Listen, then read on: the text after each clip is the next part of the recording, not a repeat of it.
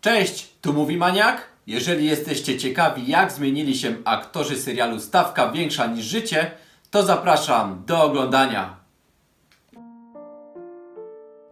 Stawka większa niż życie to 18-odcinkowy, czarno-biały serial telewizyjny z lat 1967-1968, wyprodukowany przez zespół filmowy Syrena, emitowany na antenie telewizji polskiej od 10 października 1968 do 6 lutego 1969 roku. Scenariusz serialu napisali Andrzej Szypulski i Zbigniew Sajfan, zainspirowani pierwszym filmem o Jamesie Bondzie, Dr. No, z 1962 roku. Akcja serialu rozpoczyna się w roku 1941. Młody Polak Stanisław Kolicki zamierza przedostać się do Związku Radzieckiego, by przekazać informację o koncentracji wojsk niemieckich na granicy. Zostaje przez radziecki wywiad zatrzymany. Będąc łudząco podobnym do niedawno aresztowanego oficera niemieckiego Hansa Klossa, zajmuje miejsce swojego sobowtóra w wywiadzie niemieckim Abwehrze i jako agent J-23 rozpoczyna misję szpiegowską. Za reżyserię serialu odpowiedzialni byli Janusz Morgenstern i Andrzej Konic. Serial składał się z 18 odcinków, każdy z nich trwał średnio 55 minut. W zbiorach Filmoteki Narodowej znajduje się scenariusz niezrealizowanego odcinka Stawki Większej niż Życie pod tytułem Dworzec Keleti, godzina 11. Akcja odcinka rozgrywa się w pociągu Balkan Express, jadącym przez Węgry do Rumunii i Grecji. Na pokładzie pociągu Niemcy zostawiają pułapkę na kuriera, przewożącego ważne mikrofilmy, który ma przekazać materiały innemu kurierowi, który wsiądzie do pociągu gdzieś na trasie. Wszędzie roi się od agentów, którzy podszywają się pod zwykłych pasażerów. Zadaniem Klossa jest zidentyfikowanie kurierów, zanim zrobią to Niemcy i ostrzec ich przed wpadką. Serial został nakręcony w wytwórni filmów fabularnych w Łodzi między marcem 1967 a październikiem 1968 roku po sukcesie 14-odcinkowego widowiska Teatru Telewizji. Wedle relacji kierownika produkcji Mieczysława Weinbergera nakręcono około 30 tysięcy metrów taśmy, co odpowiada metrażowi 12 filmów fabularnych. W serialu zagrało około 700 aktorów, głównie z Łodzi, Krakowa, Wrocławia i Gdańska. Pierwotnie rolę Hansa Klossa miał zagrać Andrzej Maj, ale propozycję odrzucił. Pod uwagę brany był też Ignacy Gogolewski.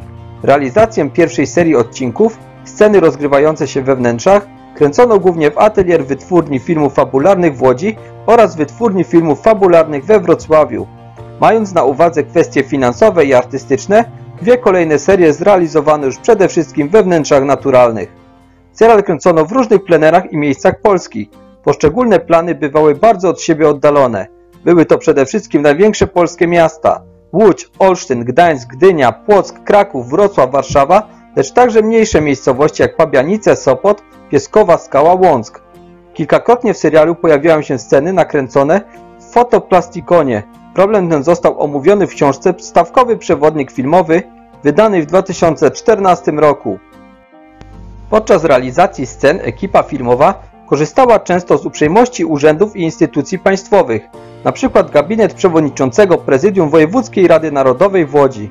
W tym mieście wykorzystano także Pałac Ślubów, pałacyk przy ulicy Piotrkowskiej 262. Poza tym skorzystano z gościnności zakładów technicznych czy placówek naukowych. Serię 20 zeszytów komiksowych z cyklu Kapitan Kloss, rysowanych przez Mieczysława Wiśniewskiego, wydawano w latach 1971-1973 ze wznowieniami w latach późniejszych. Chociaż akcja poszczególnych odcinków luźno pokrywa się serialem, autorzy dość wiernie oddali w rysunkach wygląd głównych bohaterów.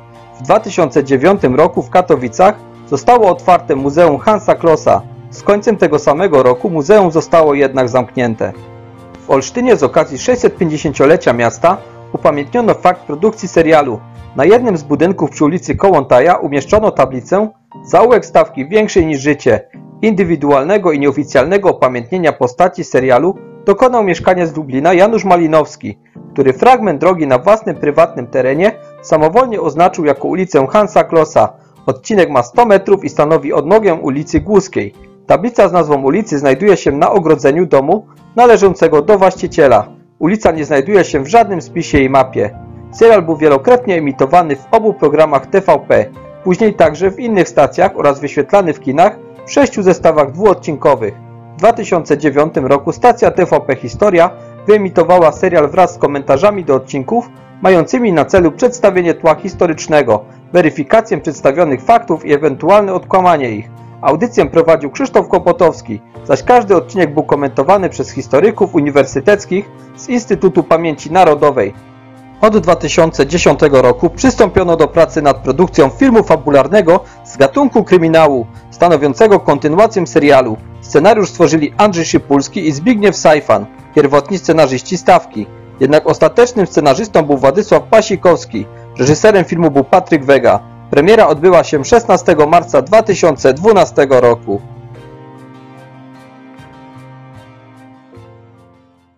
Dzięki za obejrzenie. Pamiętajcie, aby kliknąć w te kółeczko tutaj, aby subskrybować kanał. Tutaj, aby zobaczyć inne moje filmy. A zatem do usłyszenia. Trzymajcie się. Cześć.